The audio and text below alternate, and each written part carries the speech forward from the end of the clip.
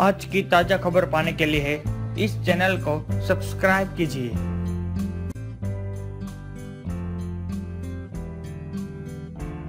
Bollywood actor Narendra Jha का अचानक निधन हो गया है। वह 55 साल के थे। उन्हें हार्ट अटैक आया और उनकी मौत हो गई।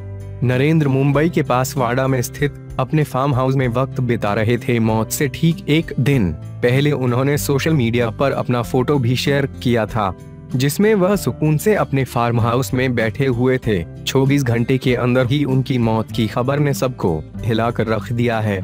नरेंद्र की मौत की खबर से बॉलीवुड स्टार्स शौक में हैं। उन्होंने ट्विटर पर नरेंद्र को श्रद्धांजलि देते हुए लिखा, सोनू सूद ने लिखा human being may his soul rest in director Ashok Mdate. It's really shocking to hear about the sad demise of our friend, Narendra Rajah, who was a brilliant actor or a great human being. We'll miss